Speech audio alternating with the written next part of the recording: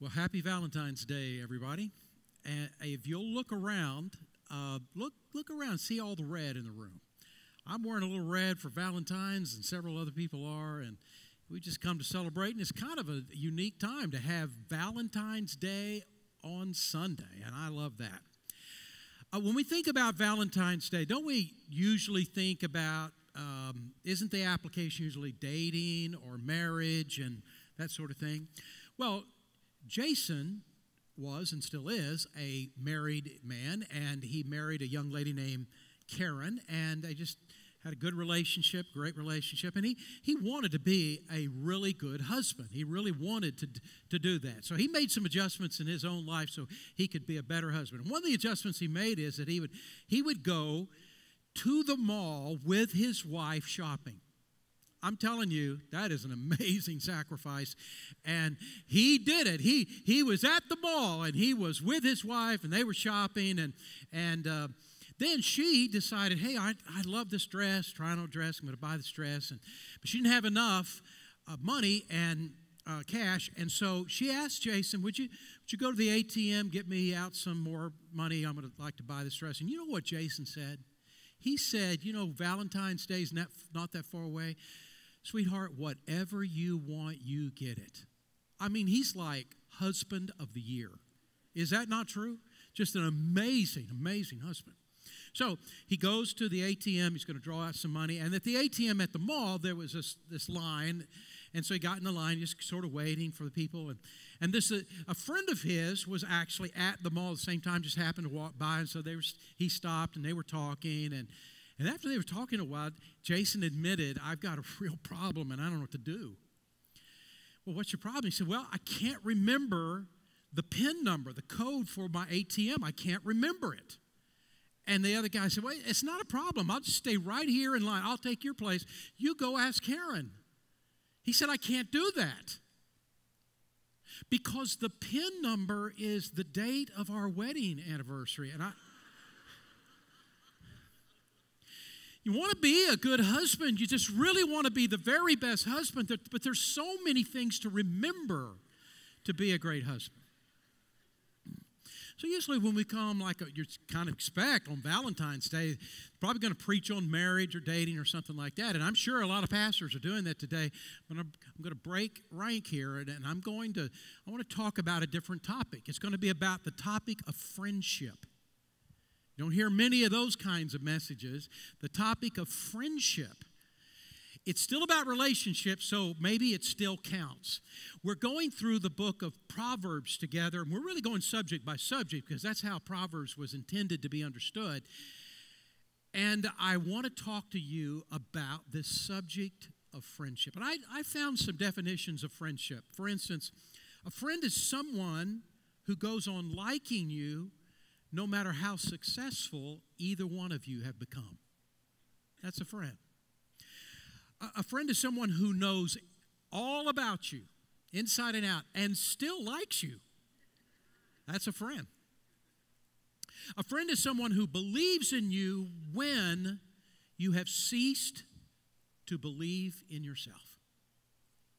Now, this is from Erma Bombeck, and probably you've never even heard of Erma Bombeck, but She's kind of a funny lady, and here's how she put it A friend is someone who does not go on a diet when you are fat. This, and if you, she's, this is, you can, you can imagine this coming out of this woman's mouth. Friends don't give friends fruitcakes. And this is a true thing if you're really a friend, don't you don't give fruitcake to, to a friend. Because if you're going to really take in that much sugar and that much fat grams, it's got to be great. Because you because the penalty you're going to pay after you get through eating it, and you don't want to waste that on a fruitcake. You know what I'm saying? The series title is uh, Wise Up Making Better Decisions. And as you've been reading through the book of Proverbs, haven't you noticed how many times Solomon talks about friends. There's, it's just all through this book. He, he talks a great deal about friendship. And I think it's because Solomon understood that this, one of the big aspects, the strategies of God in our lives, was to help build us up through right friends. And Solomon just keeps talking about that. One of the things that God intended to do with us is to bring us into a sense of community with a group of people that would really benefit us and bless us and help us. And He intended that many, if not all, of our closest friends be of the family of faith, be, be Christ followers, to, to share our values and, and our aspirations of life and that sort of thing, especially that there would be a, a lot of our friends that would be a part of our church, our local church family.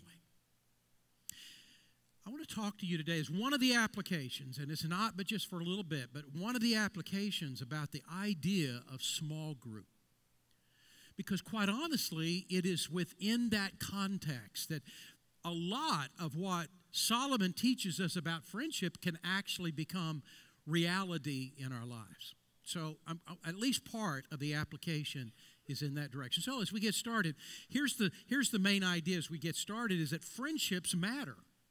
In God's plan, for our life. He intended for us to have great friendships that brought great benefit to our life.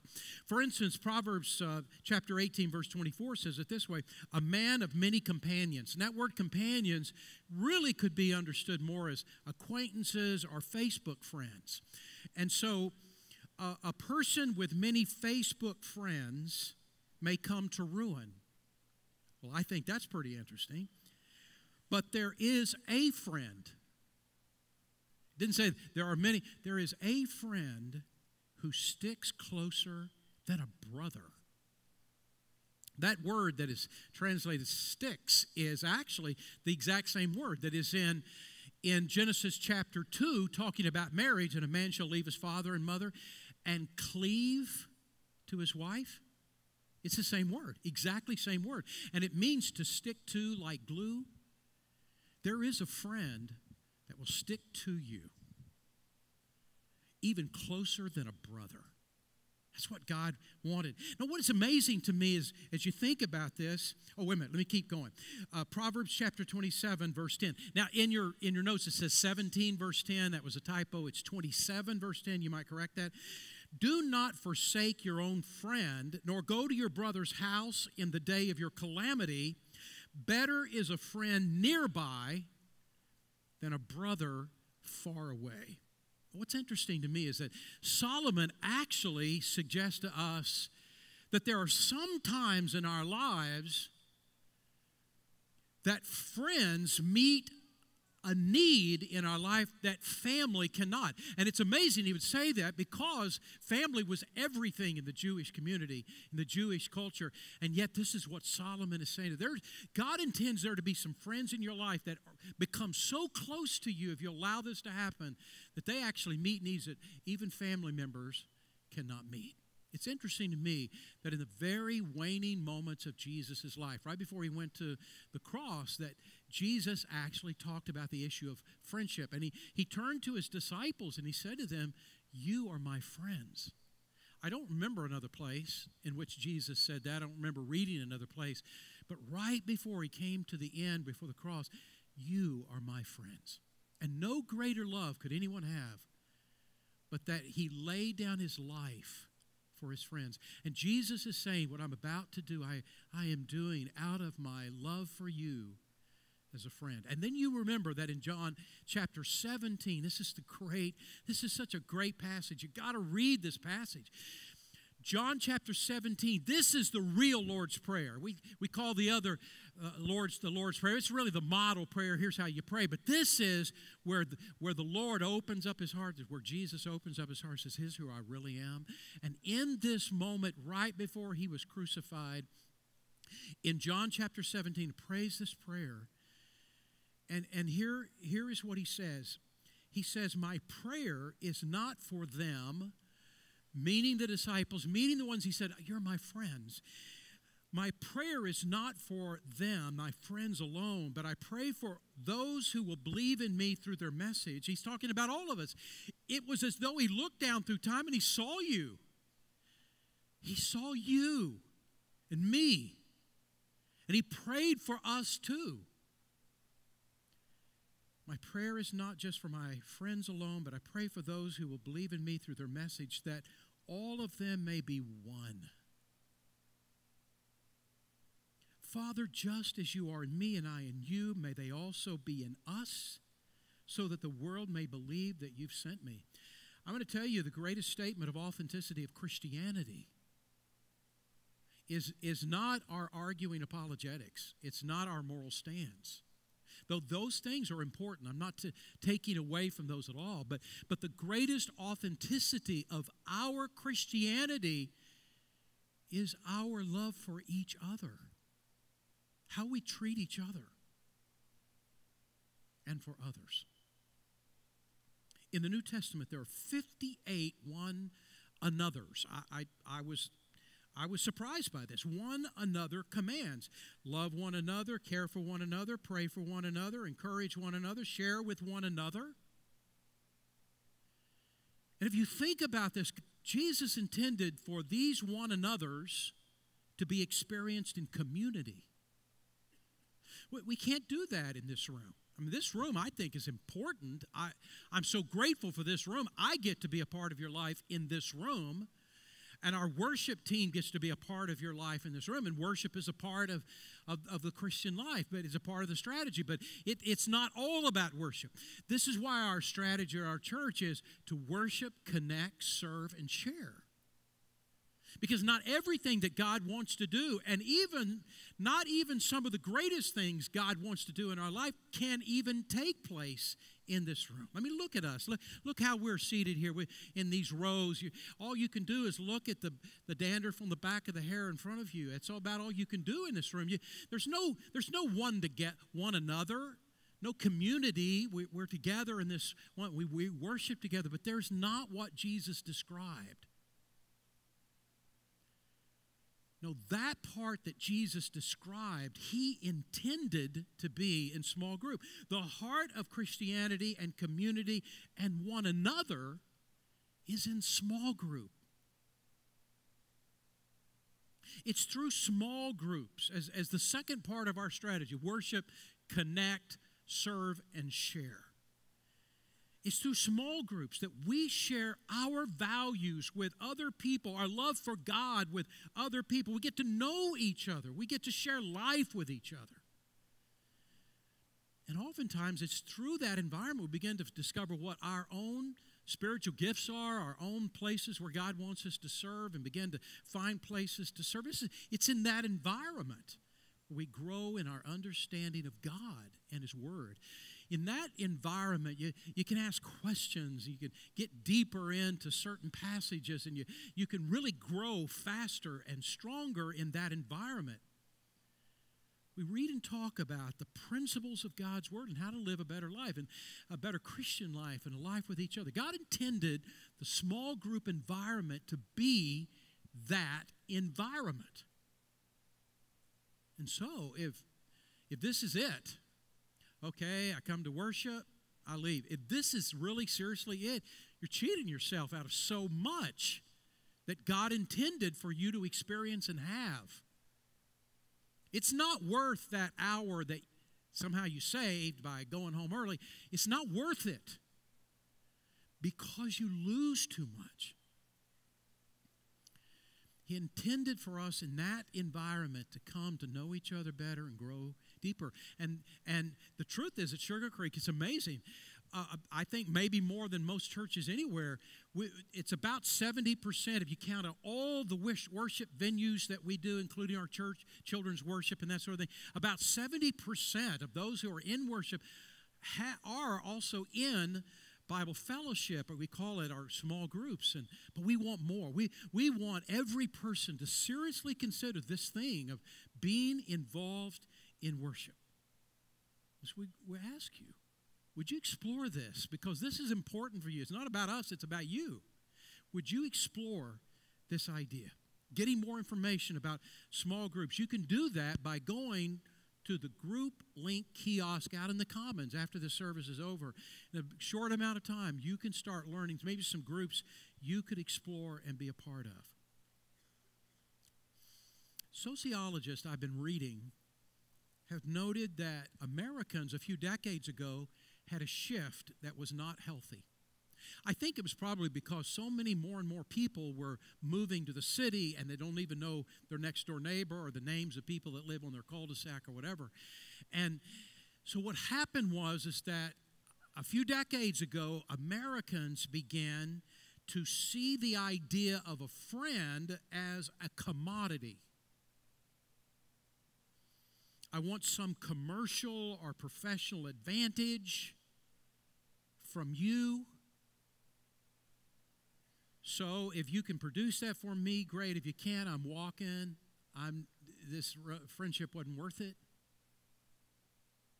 So that people actually become a means to an end. But that was never intended. Real friends are the end. Not a means to the end, they are the end. You know and enjoy them just for themselves. And that's my question for you. Do you really have those kinds of relationships? I, I, I want to kind of leave the idea of small groups. I want to go beyond that. And here's the question What, what good do friendships actually do? Why did God really intend for friendships? Few years ago, there were some scientists that had done some study of, of the, the, the brain of a fish. And they discovered that there was one location on that fish's brain that was the reason why fish swim in schools.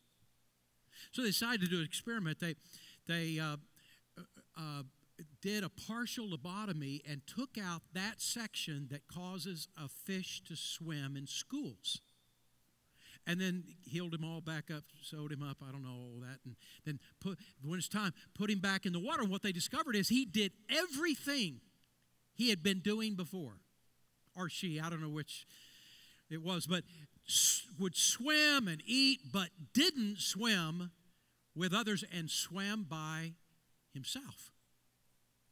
And the most amazing thing happened because they put that fish right with other fish just like it.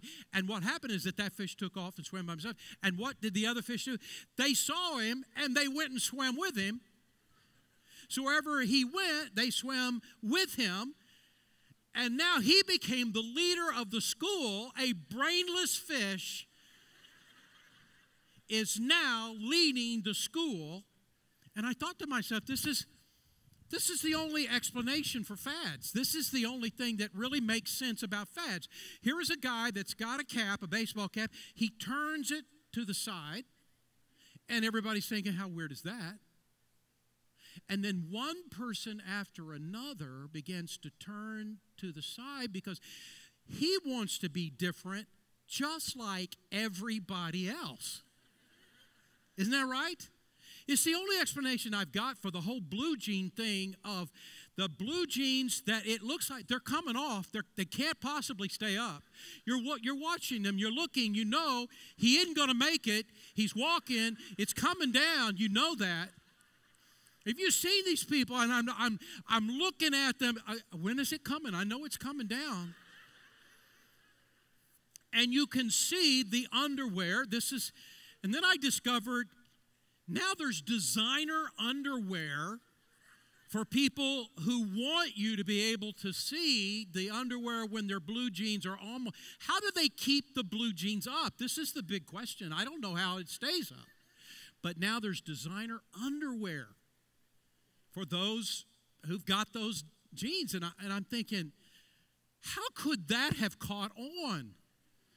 And I, am realizing there's a lobotomies happening everywhere and we're not knowing it. We didn't realize. So, my question is what do good friendships do? Well, the first thing is this good friendships help you stay on the right path.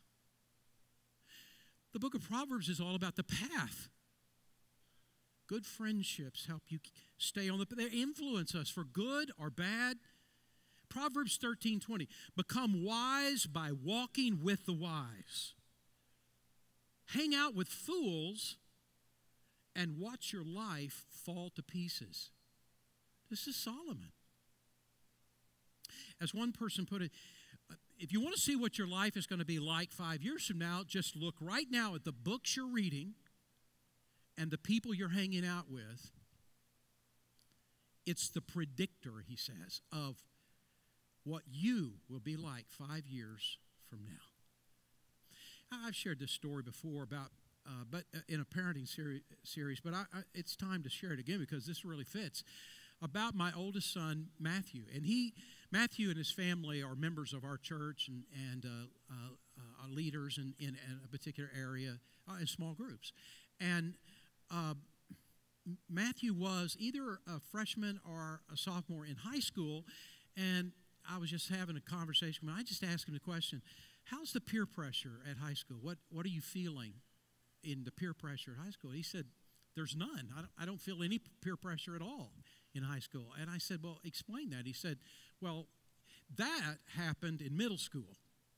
It was in middle school that I had to make decisions about my friendships. Now I've got all these friendships, they're in high school, and so I don't feel any peer pressure at all. I've got the group of people, and he picks some just you know, really good guys, godly guys. And, and he said, I don't feel any peer pressure. And I'm going to tell you, I'm sitting there and I'm sitting on his bed and we're talking, and I'm thinking, oh, my soul.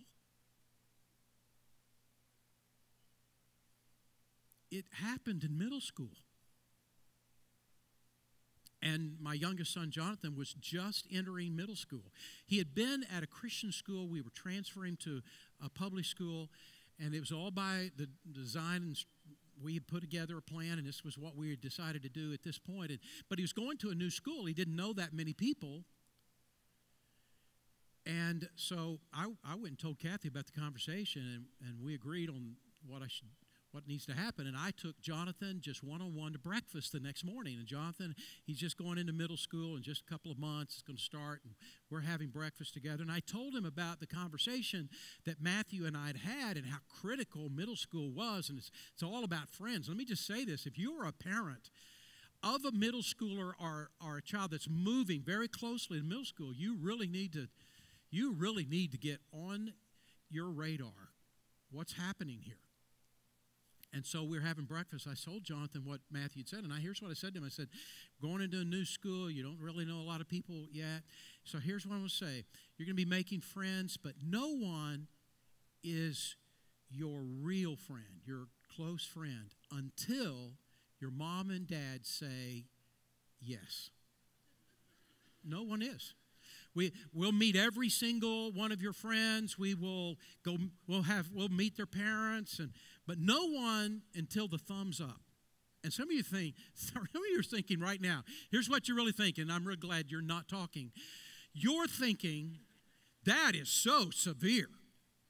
What right does a parent have to say to his middle school child, this is not your friend until we give the thumbs up? I will tell you, it's called parenting. That's really what it is about. It's called parenting. Because you understand that there's so much influence that happens in the friendships, you want to make sure, you want to be very careful. Help your child make great friends that will really be the right friends. But I'm going to tell you, it's not just about uh, teenagers, it is also about adults. Because our friendships form us and they're forming us even right now. One of the big issues is that is that we got to be careful about the friendships because either they will get us off the right path or they will help us stay on the right path. The second thing is is that friends tell us what others won't. If that's a real friend of yours, he or she will tell you that you have broccoli in your teeth. They will tell you straight up because they don't want you walking out the rest of your day. There's green teeth right in the middle, and no one is, they're all thinking, wow, isn't that so? I can't even look at your face. And, but your friend will tell you. Proverbs 27 5 and 6 says, Better is open rebuke than love that is concealed. Faithful are the wounds of a friend and deceitful are the kisses of an enemy. Hebrews 3:13 says, "But exhort one another every day that none of you may be hardened by the deceitfulness of sin." a person doesn't get hardened in their heart against God in a day. It's it doesn't happen just okay, I'm waking up today and now I'm not going to like God or I'm going to have a hard heart. That doesn't happen in a day. That happens over a period of time with things that happen in their life and choices that may, they make. And a friend who's a friend sees the changes that are beginning to happen, sees what's taking place, and confronts. And uh, by confront, I don't mean being mean. I mean, hey, I'm seeing something happen. I'm seeing some changes happen. I'm just, I'm just wondering, I'm, what's going on? Better is open rebuke than love that is concealed. Faithful are the wounds of a friend, but deceitful are the kisses of an enemy. Proverbs 24, verse 26 says, An honest answer is the sign of true friendship. That's a friend. Friends take care of us when life is falling apart. And I and I put down when. I want you to write in the word when, not if. Because if you're breathing air, you're having times in which life's falling apart. I have times in which I feel depressed. I have times in which I feel like a failure. I have times in which um, I'm so disappointed in me. I, I feel fear. I feel, feel loneliness. I have times like that in my life. I, I, think, I think everybody does from time to time because it's just living life, it's real life. And when those times come, you need somebody that actually loves you. It's a real friend. As you walk through those moments in your life, that's what real friendship is about. And that's exactly what Solomon was saying in another one of his books, a book of Ecclesiastes, chapter 4, verse 9 and 10. Two people are better off than one, for they can help each other succeed. If one person fails, the other can reach out and help. But someone who falls alone is in real trouble. The, the whole idea of just pushing people away, I'm not going to allow anybody to get close to me, I'm not going to have a friend, is really a dangerous choice. C.S. Lewis is the guy who said that when you go through pain, it's not a theological reasoning you need most, it's the slightest touch of human sympathy. When this day comes, you, you don't give a rip about your thousand, one thousand Facebook friends. You just want one friend or two or three that actually cares about you and is there for you. A real friend. This is one of the things about small groups that um, sometimes we struggle with. We, everybody walks into the small group sometimes, it seems like, and they've all got their life all put together. But I'm going to be honest with you, nobody really has all their life put together, never have any problems or struggles. Just sometimes we just put on a smile. And sometimes what we really need is to, to say, you know, I, I've really had a tough week. And you're my friends, and I would you pray for me? Would you help me? And to be willing to not have a smile when you don't really feel a smile. And be who you are and what's really going on.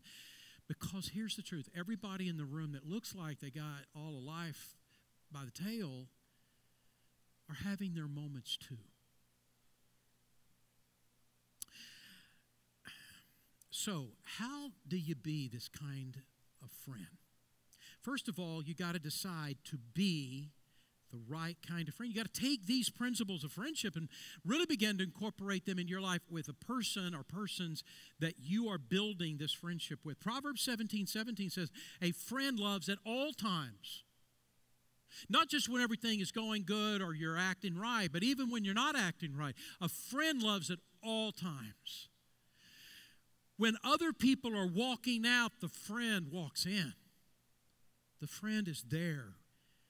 The friend will not quit on you. You are the consistent one. This is being the friend. You're the consistent one. You're the dependable one. And when someone who is a friend shares something confidential with you, you hold it because you're a friend. You hold that confidentiality. Be somebody that other people can trust.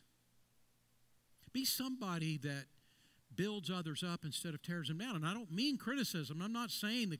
I'm talking about be the person that helps bring them up spiritually, helps helps lead them to God, helps them to stay on the right path instead of a person that takes them away from God who who sort of helps divert them off the path. Be the right kind of friend. Second of all, decide to find the right kind of person. Find a person who'll challenge you. Find a person who makes you stronger.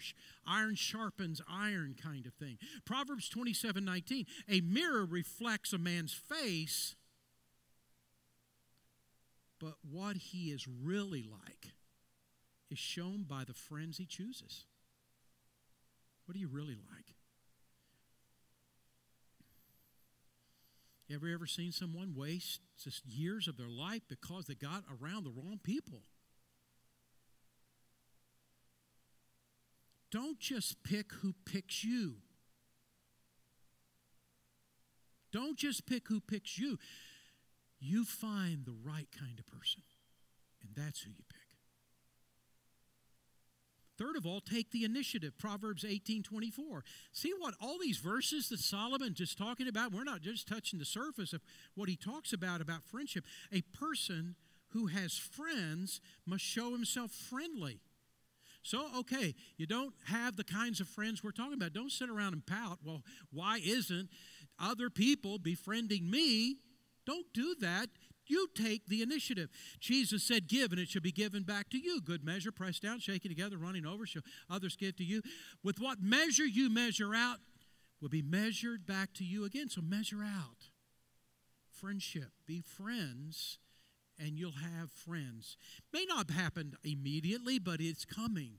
As one person said it this way I went out to find a friend and didn't find any there. I went out to be a friend and friends were everywhere. And all the person is saying is take the initiative. Dale Carnegie wrote this You can make more friends in two months. And this is a piece of great piece of wisdom here. You can make more friends in two months by becoming really interested in other people than you can in two years trying to get other people interested in you. Please be interested in me. No, you be interested in others. Fourth, be yourself. This is tough. I'm trying to find friends. I got to somehow put on a mask and I got to be somebody I'm not so they'll like me. If they knew who I really was inside, they won't like me. Well, then it's going to come out. Well, just be you. Be you. They're friends for you. You're a good person in the inside of your heart. Just be you. Don't try to be somebody else. Fifth, be patient. Don't try to make this happen overnight. You don't build deep relationships overnight, they, they're over a period of time. So be patient. Six, be reasonable. Don't become possessive and obsessive toward other people. I love this verse. It's really a funny verse if you think about it. Listen to what it says Proverbs 25 17. Let your foot be seldom in your neighbor's house, lest he have his fill of you and hate you. I mean, look at the verse. Isn't that strange?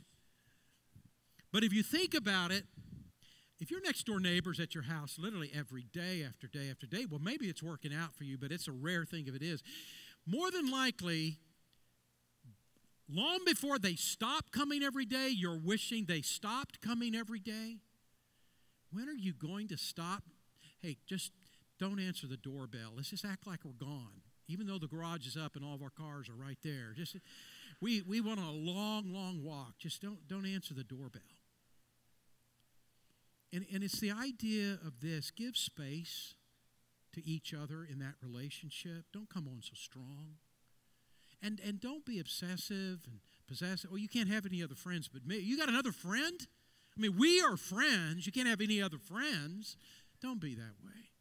All you do is really push people away that way. And, and here's the last one trust God to help you. He will. Philippians 4:19 and my God shall supply all your needs according to his riches in glory in Christ Jesus. And the bottom line is, hey, God will answer your prayers. He'll, he'll provide a friend. Be patient. So there's my Valentine's sermon for today. This is a well, I, am not how you. I don't know who's doing that, but let's pray. Father, we thank you so much for loving us and for all that you have given to us, and even the friendships that that you've built into our life. And God, thank you for that. They mean even more to us today. And the friendships to come people that you intend to bring into our life to help sharpen us and us to sharpen them. And God, thank you for your word, for Solomon in the book of Proverbs, giving us some tools to work through and sort of think out what am I looking for? What needs to happen? How do I need to be in this kind of relationship? But God, the greatest friend Oh God, make the greatest friend in our life be Jesus. What a friend we have in Jesus. And Father, I pray in this room for those who've never received Jesus as Savior. Maybe they got a little religion or something, but they didn't get Jesus. There's no relationship that's building. God, I pray this would be the beginning of the change of that, and that there would be many in this room today that say, I want Jesus as my Lord and Savior, as my friend. Father, move in hearts today to make that decision. Move in hearts today to, you're speaking to their heart. They know Christ is Savior. They're not members of this church, but they really ought to be. And there's a sense in their heart, this, this place feels like home. And that's just you me, really turning their heart to this church. And move in hearts today to make those kinds of decisions, we pray. In Jesus' name.